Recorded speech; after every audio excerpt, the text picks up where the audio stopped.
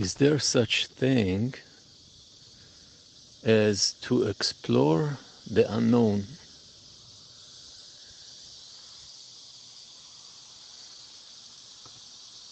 Is there such thing as knowing the unknown or being familiar with it?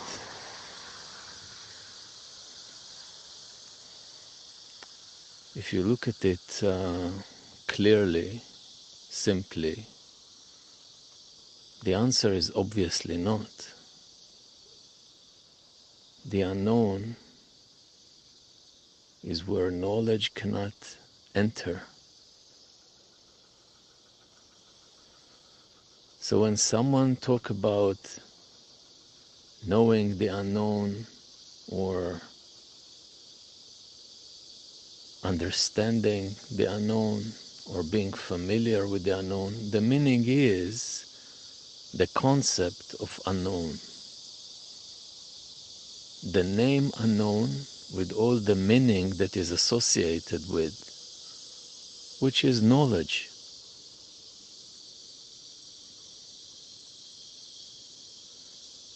In the face of unknown, either one invent knowledge to escape the unknown.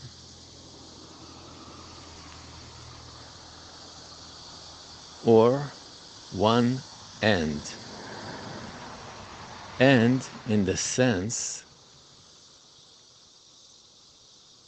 of trying to grasp, to understand, to comprehend, to associate with, to have anything to do with unknown. All that ends.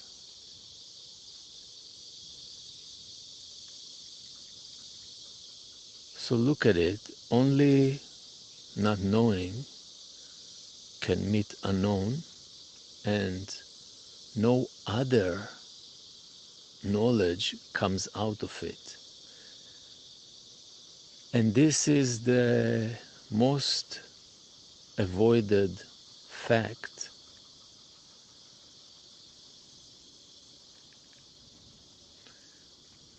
Because no one can come back and tell about it, including this ridiculous attempt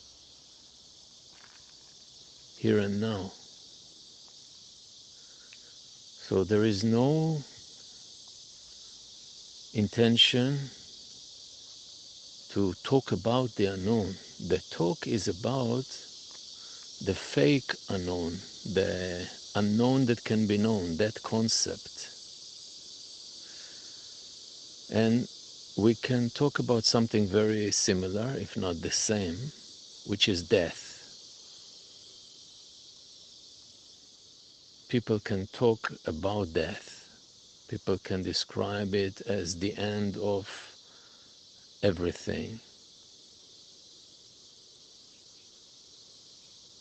But they do not know death.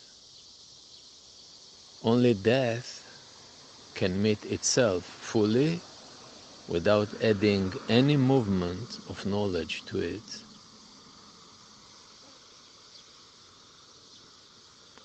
So this unknown, this death, this ultimate void, this infinite question beyond words,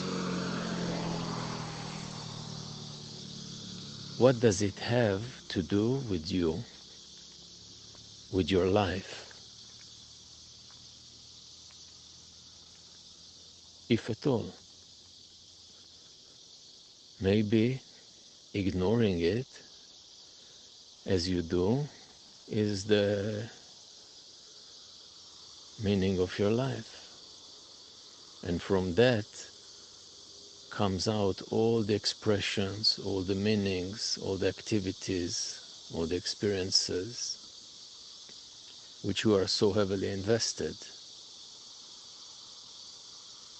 If that's the case, we reach the point of understanding. But if not,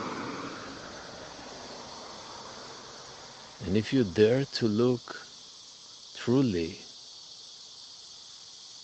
into this self avoidance,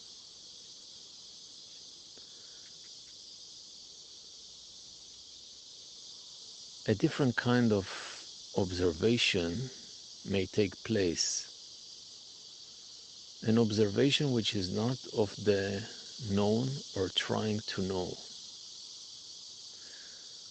Observation that is not a confirmation to something you have as an idea, rather an observation of not knowing. Surely such observation only expand.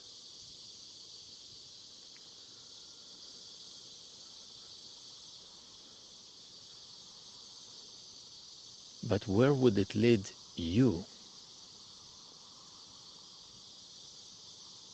Obviously nowhere. And what did it give would it give you? Obviously nothing. So being so used to reason, being so transactional in your whole operation of the mind, in the mindset, this is not an option.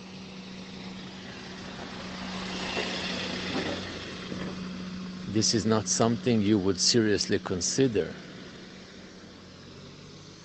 because it may demand the ultimate price, give everything to it, everything you know, and stay with nothing.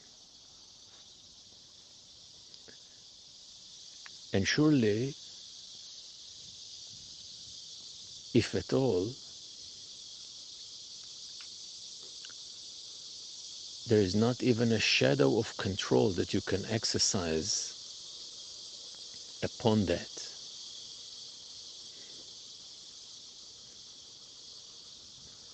So, what do you do with this?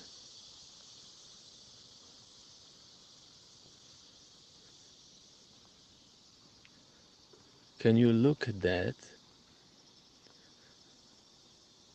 Think about it, feel it, and meet the end of it. drop the concept of it, the whole set of ideas, and stay with the truth of it, which is not knowing.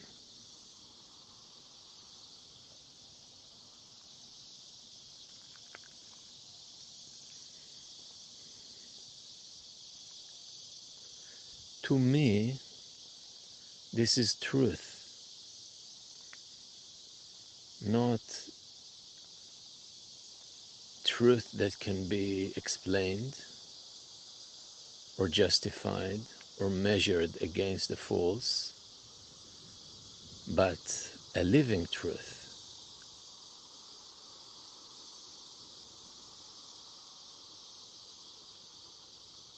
There are no conflicts, no complications, no contradictions in not knowing. Despite your biased intuition, not knowing is the most living, you can call it state for you, where that which ends is the artificial, and that which begins teach you the true about your nature. And the truth about your nature is not known.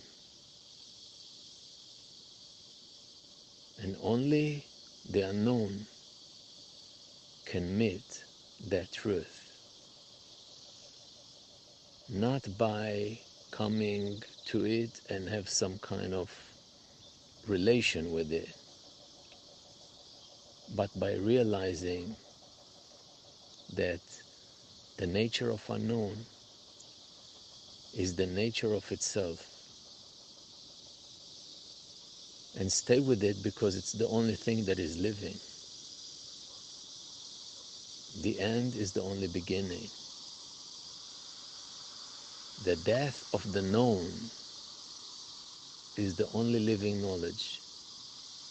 Surely no one can talk about it.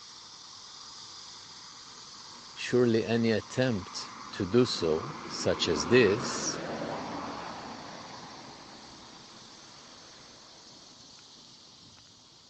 cannot be considered valuable to the knowing mind. But it may present a key to something which is not of the mind. And to touch that which is not of the mind in a childish way, you can say it's what your heart longed for before time began.